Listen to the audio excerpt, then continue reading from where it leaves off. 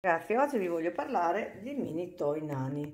Sono, non sono dei nani italiani, premetto, sono dei nanini piccolissimi, sono i nani più piccoli che trovate in Italia, arrivano dai 700, parliamo di peso adulto, se mi lasciano fare il video perché in genere mi mordono il telefono, dai 700, no, stai là, dai 700 ai 900 eh, grammi peso di adulto, quindi il coniglio cresce fino al boom della crescita, fino al quarto mese, da adulto arrivano a quel peso di lui è un arrampicatore, vedete, fortissimo, pandino.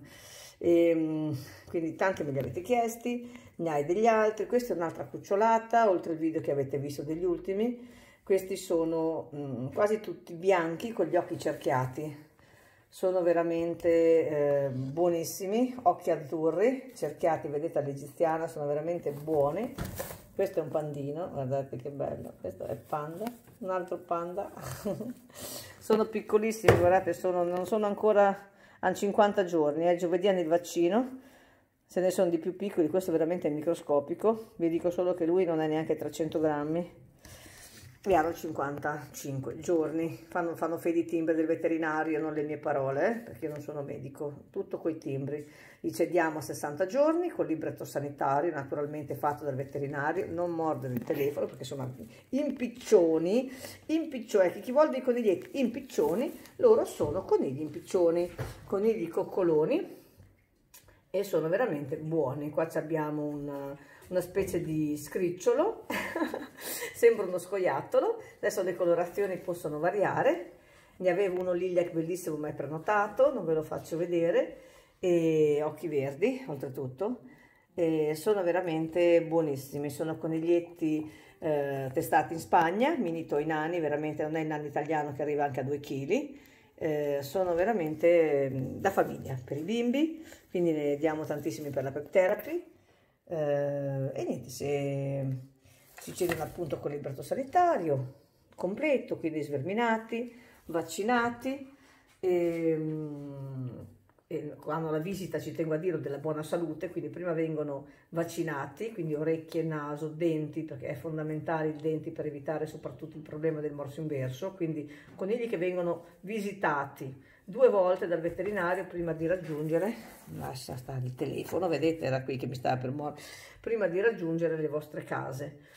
E, um, la prima volta quindi vengono sverminati, analisi delle feci, sverminati e eh, la visita. La seconda, a discrezione del dottore, naturalmente chi mi segue lo sa, 7, 8, dopo massimo 10 giorni, si effettua il vaccino con Mixoma. Noi li sediamo col Comivar Mixoma e, e sono fantastici da famiglia, sono cuccioli per i bambini, buonissimi. Questo è un sottotaglia, ve lo dico perché io lo chiamo scricciolino lui. Se mi volete far capire chi è, questo è scricciolino, non sappiamo ancora il sesso, è sottotaglia, 55 giorni e 300 grammi. Eh, questo è uno di quelli che da adulto arriva, non arriva a 900, rimane molto molto più piccolo. Adesso hanno sonno, perché oggi li ho tenuti fuori, che qui da noi in Romagna, grazie a Dio, eh, dopo l'allarme rosso del tempo c'era il sole, quindi li ho tenuti fuori e hanno giocato con mia figlia nel recinto, quindi sono veramente stanchi, li vedo stanchi. Beh, voi coniglietti che siete attivi, eh, vi ho stancato, ho riuscito a farli stancare oggi. Bene, mica tutti, eh, perché ce n'è uno che da lì, soprattutto per me la femmina, adesso sa, giovedì ehm, alle 10 abbiamo il, um, il vaccino, quindi li rifacciamo la sensazione e vediamo se sono maschi e femminucce.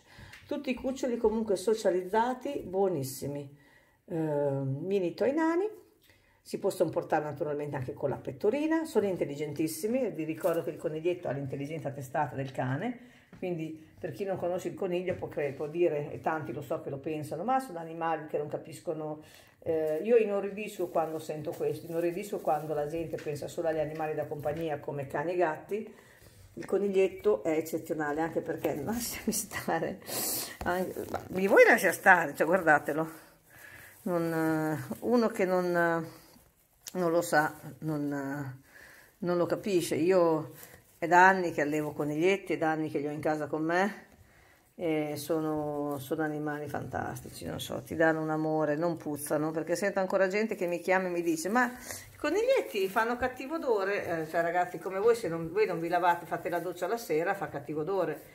E I coniglietti non fanno cattivo odore, i coniglietti naturalmente se non li pulite eh, certo come il cane, come il gatto, ma sono da pulire la loro letterina. Noi gli, ah, una cosa importante non ho detto, ma il coniglio, noi ne abbiamo anche di 10 anni, quando gli, gli, gli, sentite il pelo, hanno profumo, profumano, loro profumano sempre, hanno da cipria, non so, hanno un odore che crea dipendenza, questo sì, ve lo devo dire, perché è una responsabilità da di via, creano dipendenza. I coniglietti si cedono, quindi torniamo ai discorsi, diciamo, ehm, importanti che ci tengo, perché visto che fa parte di questo qui del mio lavoro, io li cedo già educati a sporcare solo nel trucciolato di legno.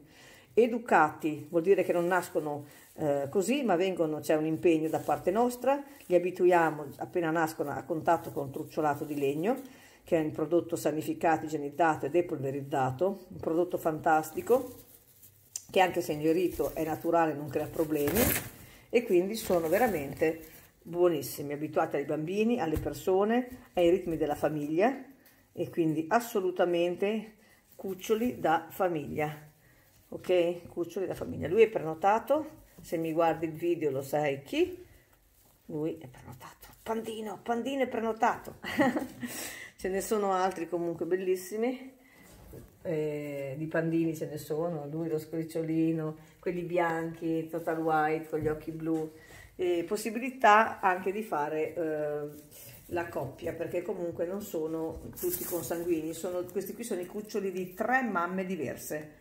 Quindi mi vuoi lasciare stare? Questo mi, mi mangi il telefono. Vabbè adesso lascio perché sennò vi annoio. Quindi mi raccomando i cuccioli non vanno tenuti sempre in gabbia vedete io li lascio fuori.